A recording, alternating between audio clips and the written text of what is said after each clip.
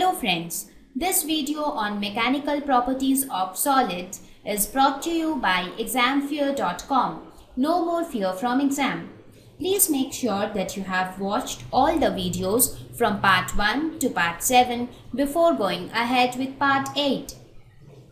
Here the problem says a metal wire 1 meter long and 0.130 centimeter in diameter stretches by 0.04 centimeter when a load of 10 kg is hung on its free end. Let us suppose this is the metal wire which is 1 meter long and this is the mass of 10 kg which is hung at on its free end.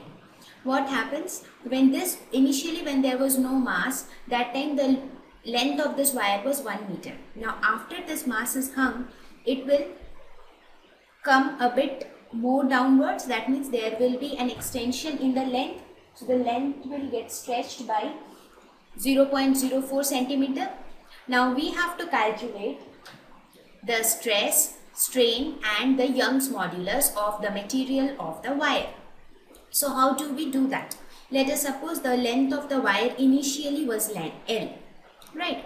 Now what are the th values that are given here? Length of the wire initially was 1 meter the diameter of the wire is 0.130 centimeters that is equal to 0.130 into 10 to the power minus 2 meters. Right? So what would be the radius of the wire? Radius would be diameter divided by 2. So that will be 0.065 into 10 to the power minus 2 meters. So this would be the radius of the wire.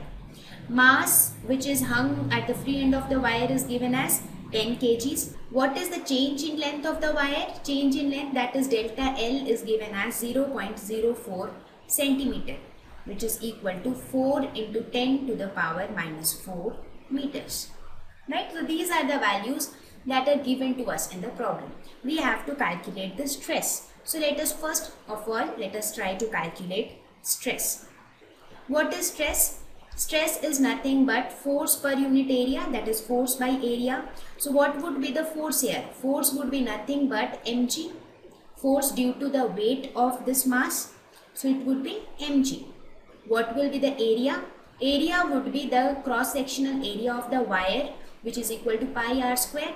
Now we know m is equal to 10, g is 9.8, pi is 3.14. What is r? r is 0.065 into 10 to the power minus 2. So this whole square. So this would be the value of stress. So this value comes out to be 7.38 into 10 to the power 7 Newton per meter square or you can say Pascal. Any unit is fine. So this would be the value of stress fine. Now the it also asks us to calculate the value of strain. Now what is strain? We know that strain is equal to the change in length divided by the original length. So what is the change in length? We can get the change in length as 4 into 10 to the power minus 4 divided by the original length. Original length was 1 meter. So that is 1 so this will be equal to 4 into 10 to the power minus 4. This will be the value of strain.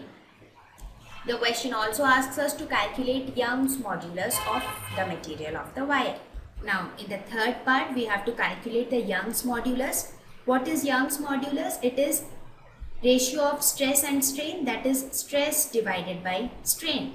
So we have calculated the value of stress just put that value 7.38 into 10 to the power 7 divided by the value of strain that is 4 into 10 to the power minus 4.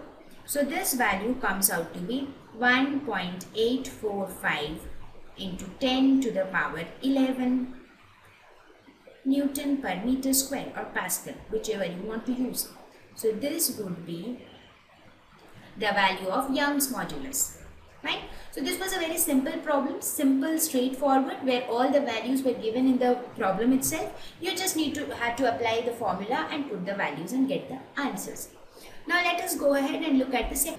Now let us look at the third problem. It says two wires of diameters 0.25 centimeter, one made of steel and the other made of brass are loaded as in the figure. As you can see, there is one wire made of steel.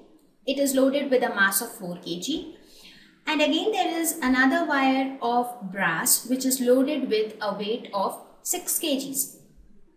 The unloaded length of steel wire is 1.5 meters and that of the brass wire is 1 meter. That means when, it, when the wires were not loaded with these masses, the length of the steel wire was 1.5 meters and the brass wire was 1 meter. Compute the elongations of the steel and the brass wires. So we have to calculate the elongation. That means when they are loaded with the, these masses, the wires get elongated, right?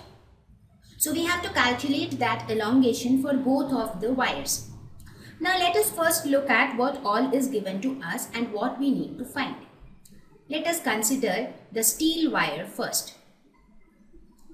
Now for the steel wire, we had given the initial length that is the unloaded length as 1.5 meters.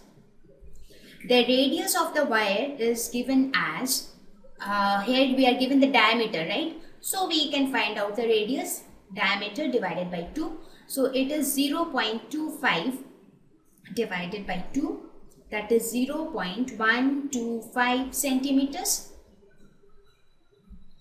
And what we need to find? We have to find out the elongation. That means we need to find out delta L. So delta L1 is what we need to find. Similarly for the brass wire,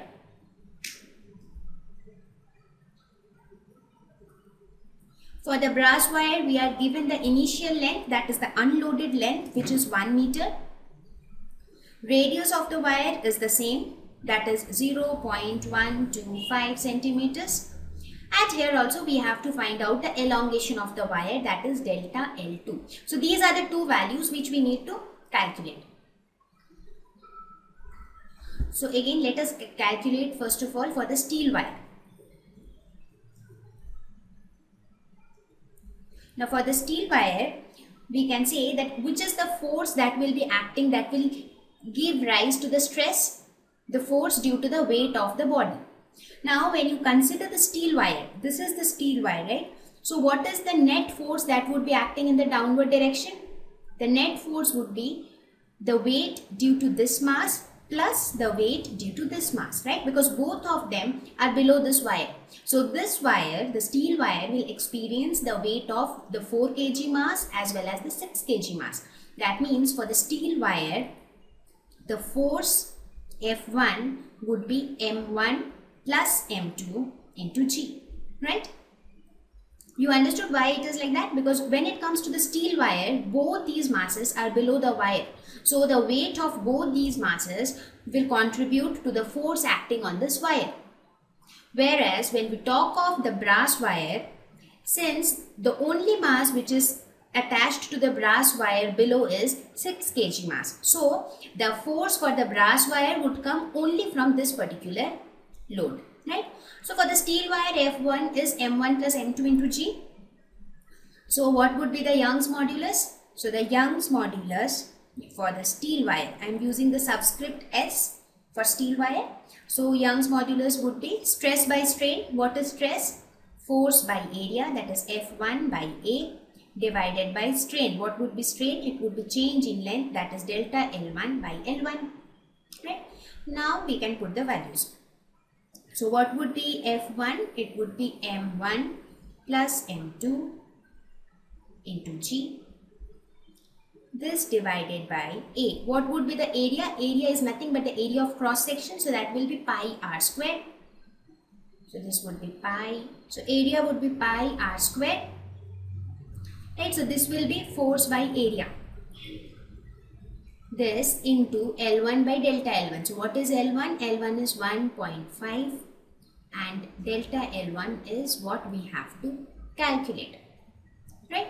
Now here we can see that Young's modulus, we know the Young's modulus of steel, it is given in the question that is 2 into 10 to the power. So this is given. M1 is given, M2 is given, right?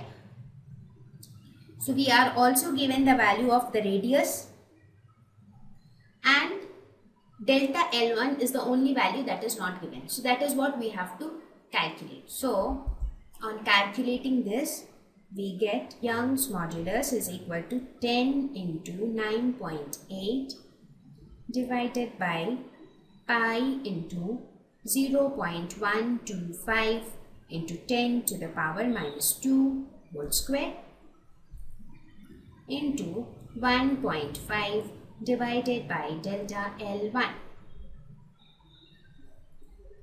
or we can say delta L1 is equal to 10 into 9.8 divided by pi into 0.125 into 10 to the power minus 2 whole square into 1.5 divided by Young's modulus that is 2 into 10 to the power 11. So this value comes out to be 1.49 into 10 to the power minus 4 meters. So this is the elongation that will take place for the steel wire. Now in a similar way we will calculate the elongation that will happen for the brass wire. Let us do that. Now we'll do it for brass wire. So for the brass wire what would be the force? It would be M2G. So that would be 6G.